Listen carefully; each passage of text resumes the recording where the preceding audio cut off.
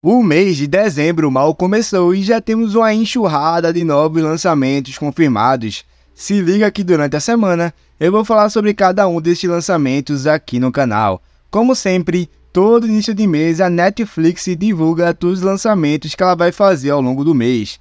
E dessa vez, finalmente ela confirmou de vez o lançamento de novos episódios de One Piece dublado. Não foi exatamente da forma que estávamos esperando mas pelo menos ela confirmou a chegada desses novos episódios, e eu vou explicar tudo aqui para vocês.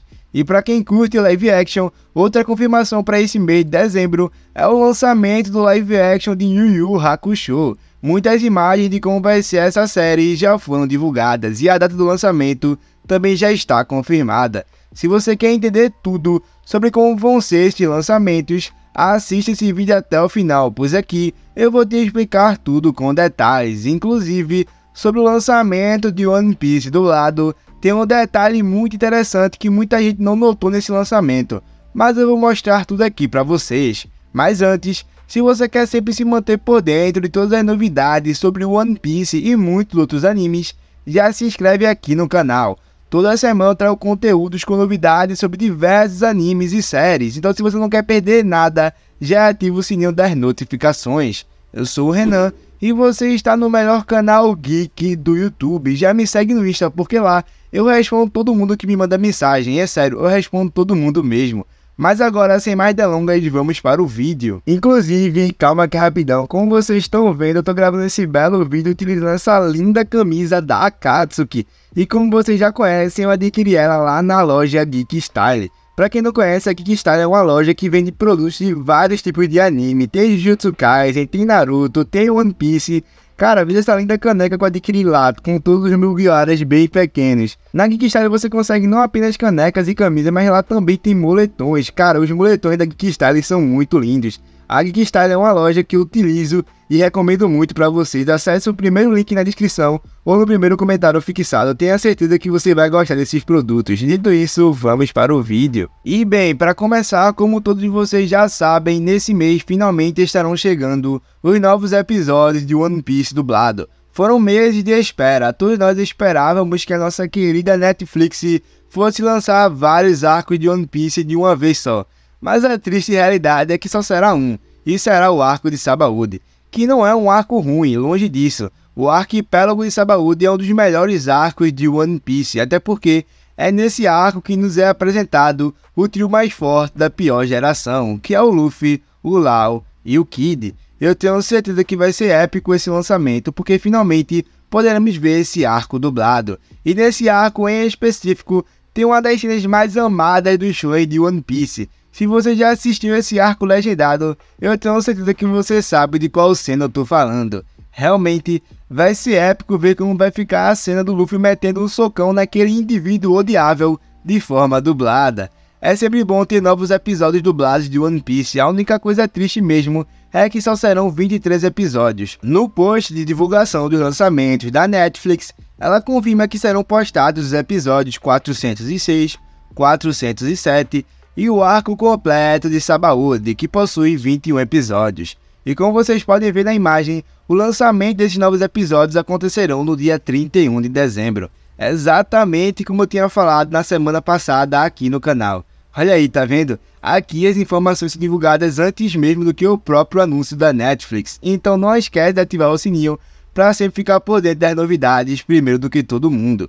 Sobre essa data de lançamento, 31 de dezembro, eu vi muita gente reclamando, citando que essa é uma data muito ruim. Mas galera, não esqueçam, a Netflix escolheu especificamente essa data porque ela tem a clara intenção de fazer com que os seus assinantes passem o mês de janeiro maratonando One Piece. Janeiro é o melhor mês para fazer lançamentos, pois boa parte das pessoas estão de férias, livres para poder assistir os novos conteúdos lançados. Então a Netflix ter escolhido essa data foi claramente uma estratégia de marketing. E não se preocupem, mesmo sendo lançado logo na virada do ano, aqui no canal terão muitos conteúdos sobre esses novos episódios. Eu vou comentar sobre tudo que eu achei da dublagem, decretando se ficou boa ou não. E agora falando sobre o lançamento do novo live action da parada, que é o live action de Yu Yu Hakusho. Embora seja uma obra um pouco antiga, Yu Yu Hakusho é um dos animes que mais possuem fãs ao redor do mundo. A história do anime foi muito bem feita, o desenvolvimento de cada personagem também foi muito bem estruturado. Não é surpresa para ninguém o porquê que Yu Yu Hakusho é um anime tão bom. A história foi criada pelo Yoshihiro Togashi, que para quem não sabe, é o criador também de Hunter x Hunter, ou seja, o mesmo cara conseguiu criar duas grandes obras de sucesso. Isso realmente não é para qualquer um. Inclusive, se você gosta da dublagem de One Piece, você tem que ver a dublagem de Yu Yu Hakusho. Provavelmente a maioria de vocês não sabe, mas quem deu início a esse estilo engraçado e cômico de dublagem foi o anime de Yu Yu Hakusho. E bem provavelmente o live action vai seguir essa mesma linha, justamente por possuir tantos fãs, há uma grande expectativa para ver como vai ficar esse live action.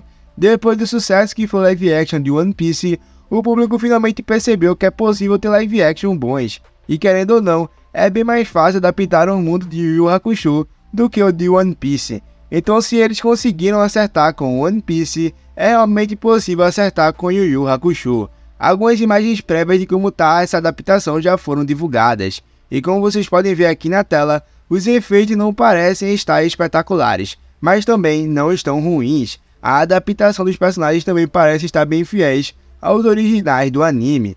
Também é importante lembrar que essas imagens divulgadas muito provavelmente não são o projeto final, ou seja, quando lançar a série, é bem possível que todos os cenários e os efeitos especiais estejam em uma qualidade muito superior. Dito tudo isso, a data do lançamento do live action de Yu Hakusho é o dia 14 de dezembro. Então se você quer assistir algo interessante antes de lançar os novos episódios de One Piece, tenha certeza que Yu Hakusho será uma boa opção.